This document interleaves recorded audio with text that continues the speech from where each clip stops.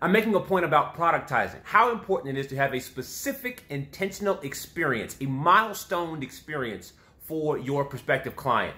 Hey, it's Alzay Calhoun with Coveted Consultant. I'm making this video completely impromptu. I'm actually traveling with some friends of mine. We're in Las Vegas in a really nice hotel. Uh, we've had a really good experience here. We've enjoyed it very much. And so my wife and I were talking about how much we, we were enjoying our entire experience. And then I saw this note that was on the desk. I didn't see this note until we were getting ready to check out. And so this, this is what it looks like. It says the envelope, please. It was folded and it was sitting on the desk just like this. So let me read what this says so you can appreciate how powerful this is. It says, the room attendant makes every effort to ensure your comfort while you are away from home. Please feel free to use this envelope to express your gratitude person to person. What makes this so powerful? There are a couple of things here. Number one, the assumption is that you've had an experience that you'd want to show gratitude for. There's an assumption here that you're going to enjoy what this experience is. That means number two, that means that we have to design an experience that we expect you to have gratitude for. We have to intentionally design an experience that we know will make you feel good, that we know will make you feel so good that you'll want to express your gratitude. So what we do is we already give you a, a, a method to express that gratitude. Third, this is shaped like an envelope, right? Okay. So that means you can open this up and just write a note if you want to express your gratitude.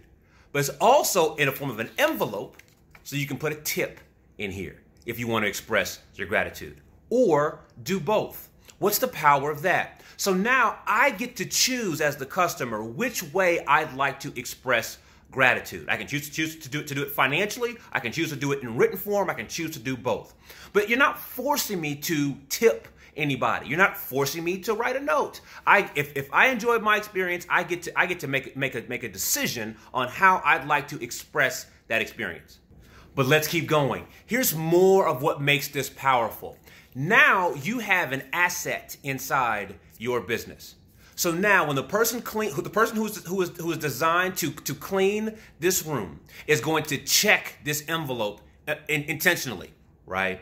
So if that person wants to have something in this envelope when they when they check it, then they should serve this room accordingly. It's got to be clean right. It's got to be clean well. They got to put a special touch on it, right? Because they want the people in this room to feel a level of gratitude. So now, now this this incentivizes the employees to do a good job in what they're supposed to do. Let's keep going. So now certain employees are going to have more of these.